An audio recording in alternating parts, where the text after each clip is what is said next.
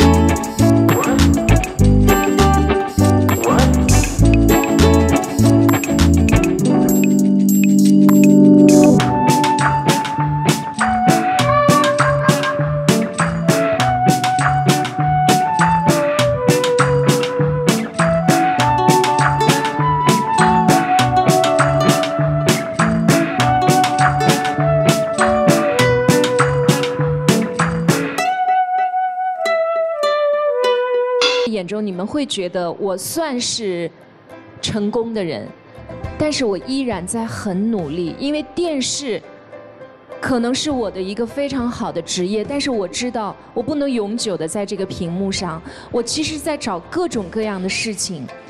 在为未来或者现在的转型做准备，我相信各位其实都是，他们都不仅仅只是在屏幕上出现，有的写书，有的在当老师，我们都在想各种各样的办法。我不知道为什么你一无所有还不努力的去想办法呢？